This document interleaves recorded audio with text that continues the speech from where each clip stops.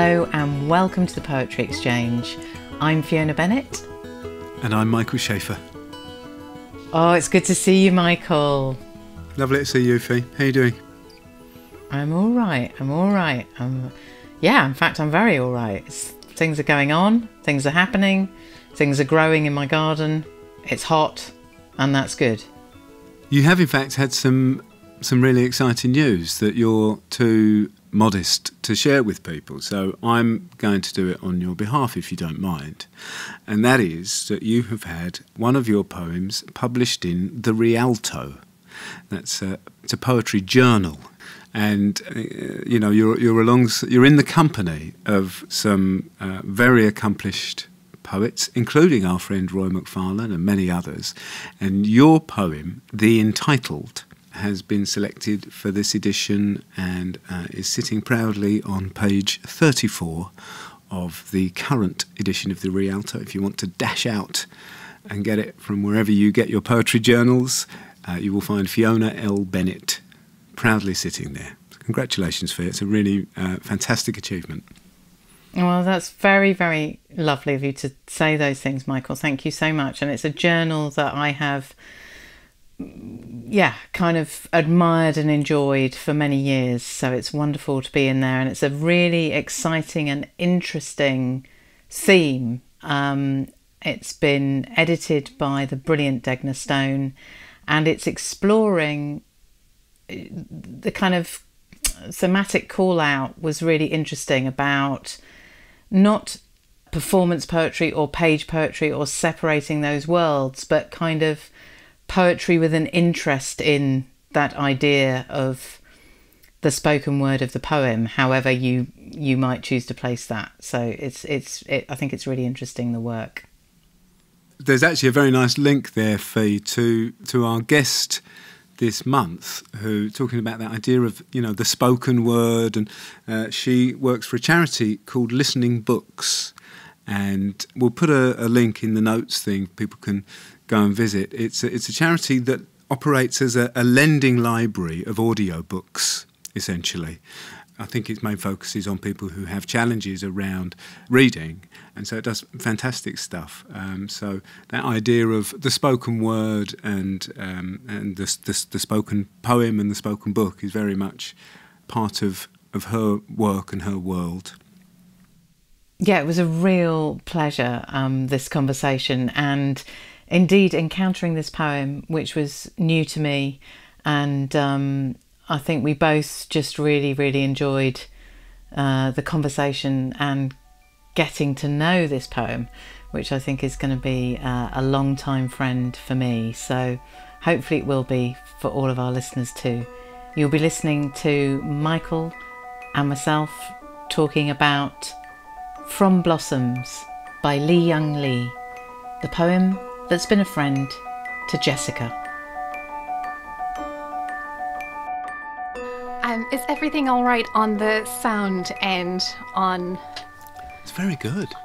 Is it all right? Good. Okay. because you, of course you are in uh, in the sound game, Jessica. You, is it listening books? Yes, yeah, I'm an audio producer for them. So I I do their podcast and I do a number of audiobooks um, as well. Uh, what's that sound? That's Fiona. Oh, okay. I don't know what she's saying. Sorry. Mm. That's all right. Sorry, that's again, that is like just the hazard of being in audio production is always listening out What's for problem sound? sounds. Exactly. is that me? Let's solve it now.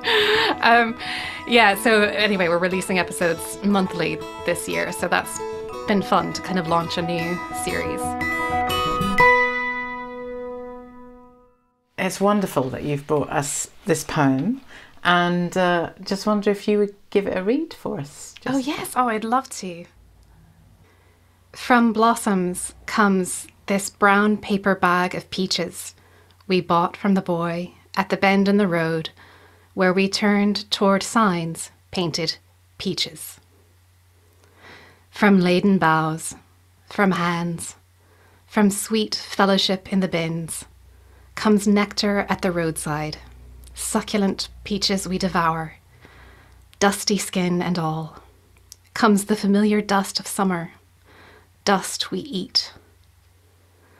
Oh, to take what we love inside, to carry within us an orchard, to eat not only the skin, but the shade, not only the sugar, but the days, to hold the fruit in our hands, adore it, then bite into the round jubilance of peach. There are days we live as if death were nowhere in the background. From joy to joy to joy, from wing to wing, from blossom to blossom to impossible blossom, to sweet, impossible blossom. Hmm. That was absolutely wonderful. Thank you. I, I have definitely feel that I've eaten a peach. so I don't know how you did that. That was Lee and you, Lee. you and Lee, Li-Young Lee together. yeah. So we had this invitation to you to bring the poem that's been a friend to you, and I sense, Jessica, from the the world of work you're involved with, there might have been many choices. What led you to to come along with this one today? Um. Well, yeah, I do have I do have other poems that have been uh, friends to me. Um, one that I've had as a friend for a long time is is also a friend to, to someone else um, on your podcast, and that was the poem "Spring and Fall" by Gerard Manley Hopkins. And I think both of these poems come from the same era of my life. I encountered them around the same time in my life when I was still in university. And I think both of them, you know, what struck me and stayed with me was, of course, um, the way the knowledge of mortality creeps in and, and saturates our experience of the world. And so, of course, with spring and fall, you know, that poem Margaret, are you grieving over Goldengrove unleaving? Um, when you when you get to the end, that it's it's Margaret you mourn for, um, and and that realization as you mature that death is is always there in the background, as Li-Young Lee um, says.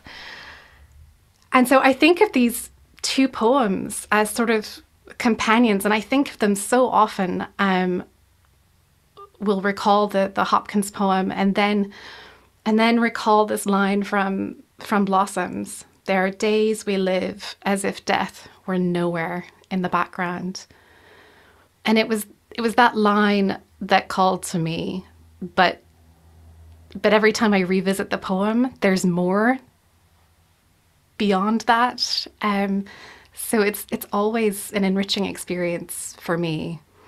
It's really interesting to hear you say that, Jessica. When I first looked at this last night, that was the line that caught me. Because I thought, oh, this is so interesting. He's saying grab the moment and, you know, uh, and, and, and all the rest of it in so much of this poem. And in, But in, in that line, he's reminding us that death is present all the time. Yes. He's saying there are days we live as if it's nowhere in the background, and in so doing, he's letting us know that it's actually always in the background. I thought, gosh, that's really interesting the way he's he's done that. Isn't it? Yeah, because the the scene that he describes, it's like a memory of buying peaches at a roadside stand. And I'm from I'm from South Carolina in in the US, which is a big producer of peaches, even more than Georgia, which is called the peach state. um, and so I very much this isn't why this poem means so much to me, but I also do very much recognize the scene of buying peaches from a roadside stand and the dusty skin and uh, the dust of summer. Um, but yeah, it's like the moment as it was lived, it was as if death were nowhere in the background. But when you recall the moment, when you look back on the moment, you know, you know, as a, as a mature adult, recalling these sweet moments of life, you, you can only recall them with this knowledge of death in the background. And so it's it's it's like the act of memory in some ways um, adds the bitter to the sweet. Yeah.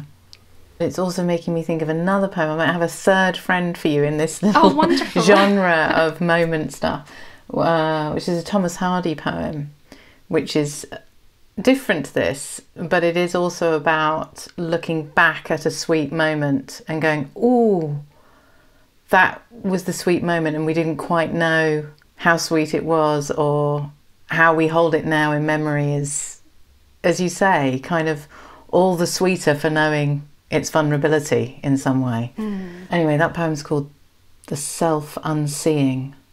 But not to digress into Thomas Hardy, but just that I'm very interested in that thing of, in the softest, kindest, gentlest way, Li-Young Lee is sort of saying also, there is also a little bit of a call to pay attention, mm. therefore, right? Which I think is really deftly done here. I love the verse that comes before. Oh, to take what we love inside, to carry within us an orchard, to eat not only the skin but the shade, not only the sugar but the days, to hold the fruit in our hands, adore it, then bite into it, the round jubilance of peach. I mean, that's just phenomenal. Yeah. Just on that, I have got to just lift up the brilliance of the round jubilance of peach. Yes. I love that. I, I'm never going to look at another peach again without thinking of the round jubilance of peach. That's brilliant. Isn't it? Yeah, I love it.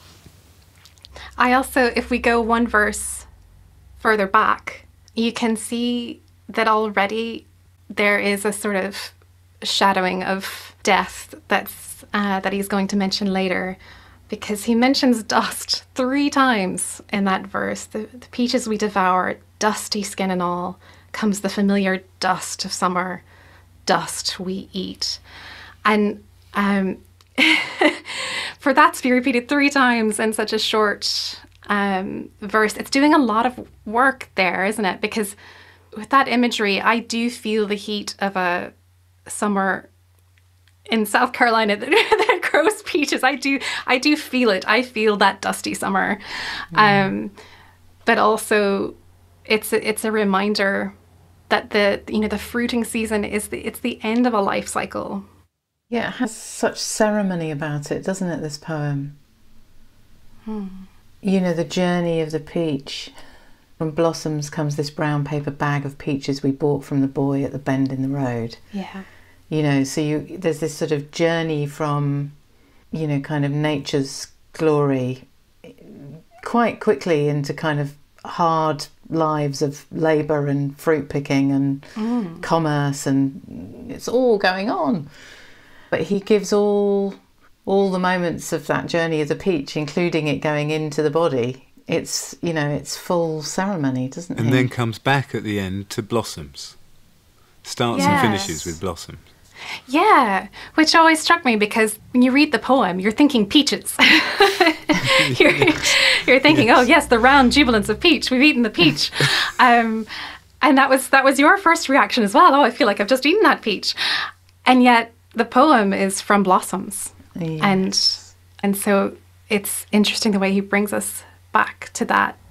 It's it's wonderful the way he traces its path from blossoms and then into the hands of the of the laborers and then into the the sweet fellowship in the bins which is also a wonderful you can't help but just picture the peaches all nestled in there with each other I'm really interested if you can say a bit more, Jessica, about. The, so this was you at university hmm. discovering this poem. Where were you at university? So I was brought up in South Carolina, um, and I went to university in Oklahoma, and we were we were very excited. I can't remember which year this was. We were very excited though because a real live living poet was going to come and be the headliner at the conference that our English department was hosting, uh, and it was Li-Young Lee. Um, and then at the last minute, there was a family emergency and he couldn't come. And we were all devastated. I mean, I don't know if you've seen his photo, but he's also quite a handsome um, poet. So uh, I remember my friend and I, we'd, you know, picked out our outfits. Um, and you know, we were we were so excited to meet him. Um, and and then I suppose as a consolation prize, I just bought all his books because he wasn't there. Yeah, so um, I think, at, you know, at some point as I was reading through his books, I, I came to this poem and that line that we talked about before about um, there are days we live as if death were nowhere in the background. And actually, when I hear that line, it is always, it always has to slow down for me. There are days we live. It's like the, the days themselves are drawn out in memory. There are days we live as if death were nowhere in the background. And I guess as soon as I encountered that line, it became a friend that um, that I've turned to periodically through through the rest of my life so far. Can I ask, from wing to wing, is an Hmm. interesting one to to have in there. Yeah. What do you, what does that do for you? I mean, on a very sort of prosaic level, I suppose, or, or practical level, if you're back to thinking of the trees and the blossoms and springtime, that is also when the birds are, are there. And so you can sort of hear their bird song. But obviously, the he's not referring to he's not even referencing birdsong but from wing to wing and so you've got that impossibility of flight the uplift of flight i think that exhilarating sensation. Um it's a good question. It's a i think it's a a rewarding one to think about. Was it what does it do for you? I think that whole stanza just sent me back to being seven or eight or something yeah. in the summer and those endless summer holidays. And it was, time was infinite. you know, it really was. And you would go from joy to joy to joy. You would go from playing football with your mates to running around to, you know, and it was just that. Uh, You know, I've had, obviously was had a very lucky childhood. I know that's not the case for lots of people, and, and and I suppose the impossibility of that, you know, that is ephemeral. That doesn't, you know, of course, it doesn't last. That's, you know, the the freedom from responsibilities, from you know, to just uh, your your only uh, job in life is to have a great time, and uh, it made me think of that actually. Yeah. I do think um, that those days we live as if death were nowhere in the background must be primarily childhood because I'm not sure it's possible beyond a certain point uh, to experience true joy without that in the background, even if it's not what you're consciously thinking, without that inner knowledge that it cannot last. I just think the as if is really key as well. Yeah.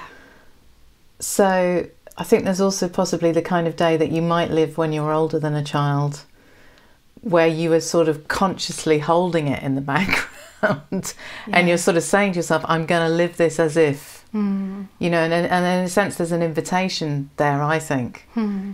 You know, this is where I'm with this thing that there's a sort of gentle instruction to pay attention to it and to allow yourself to both acknowledge it hmm. and know that it's part of the cycle and that the dust will come.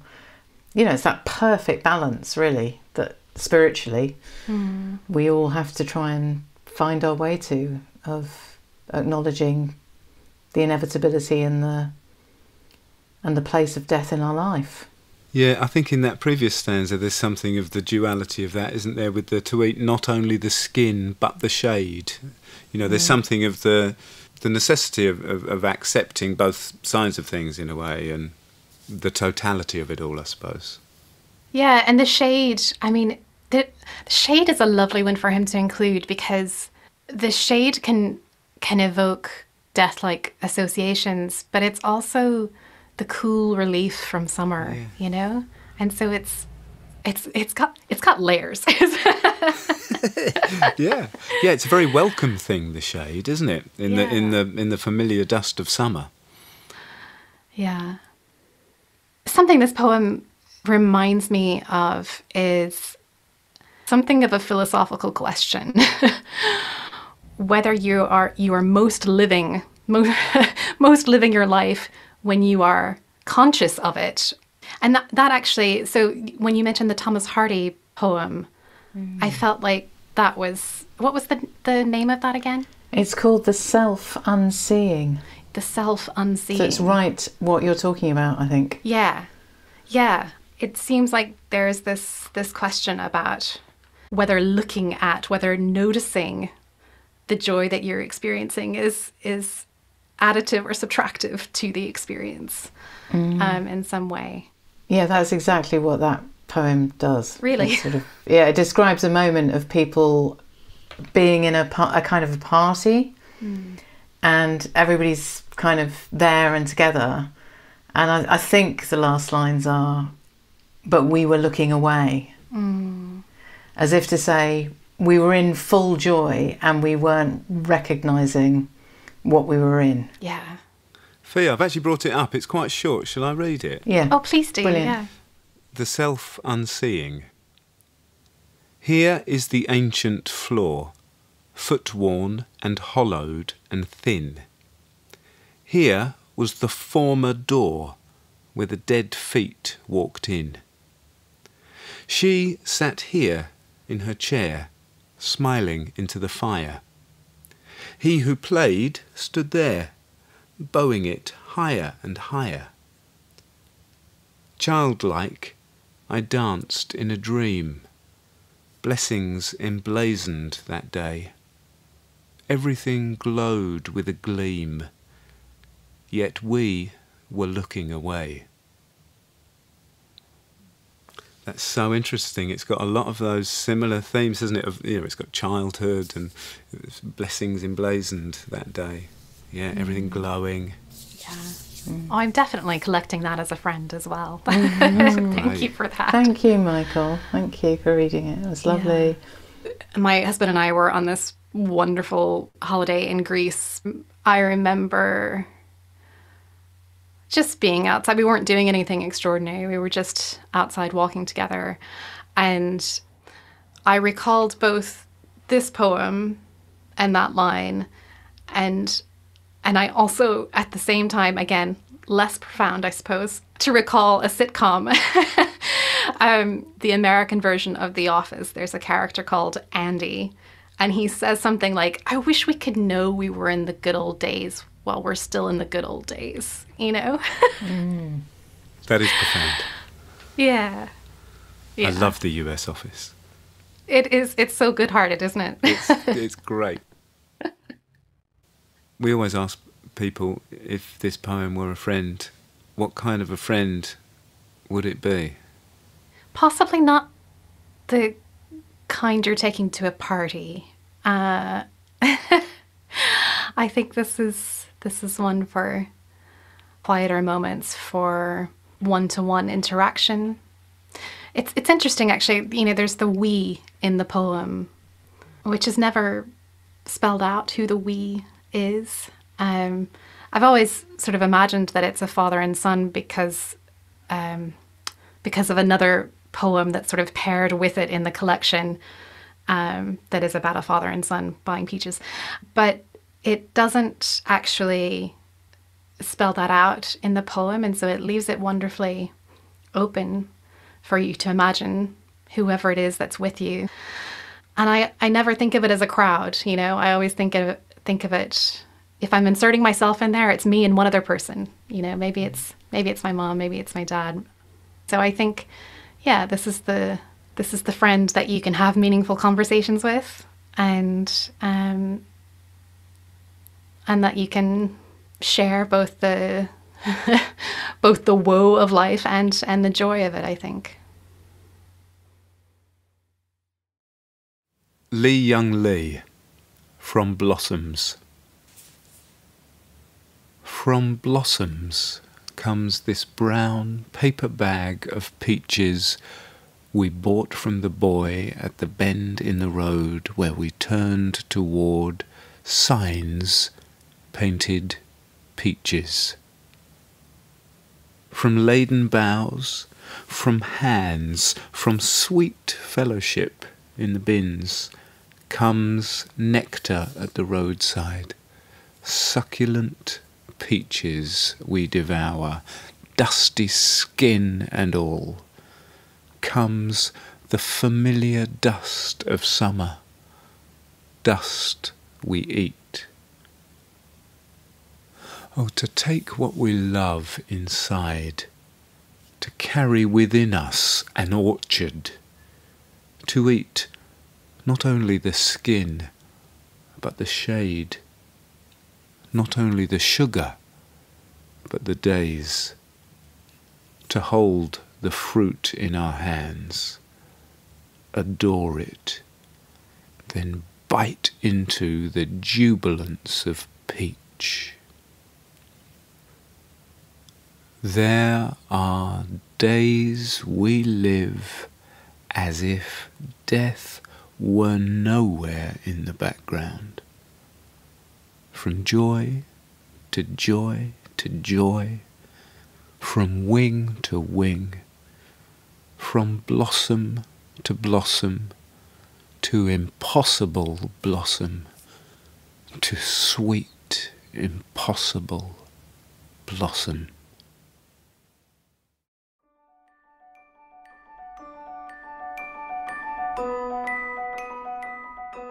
That was Michael with the gift reading at the end there.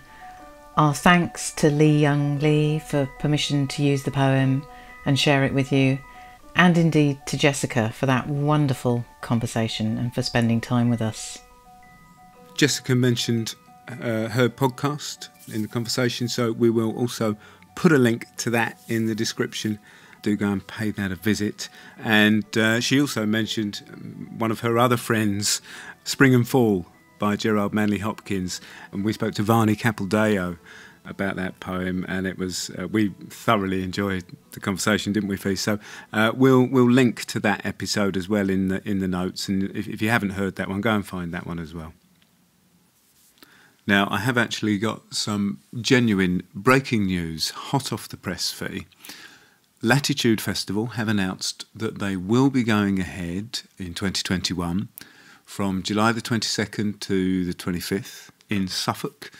And they have asked us to be a part of the festival. Uh, we did it two years ago, and I'm thrilled to say that we will be returning to Latitude Festival this year.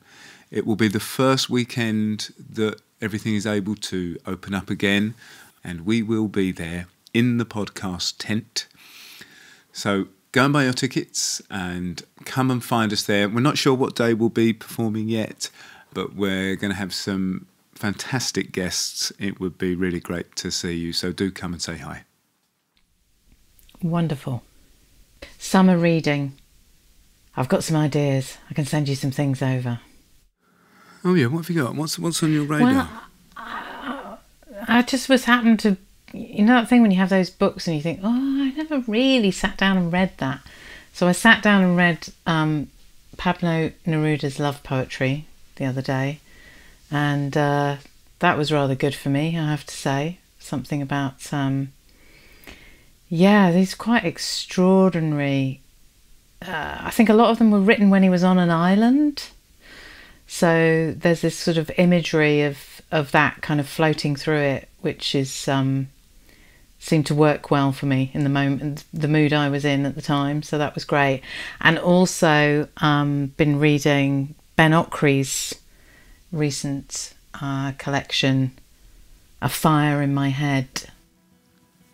Oh, is that a new one? Yeah, really phenomenal. I really like the bits of Ben Okri that I've come across. Actually, I might check that out. Yeah. That's about all we've got time for this month. We'll be back with you next month with more Poems as Friends. Until then, thank you for listening.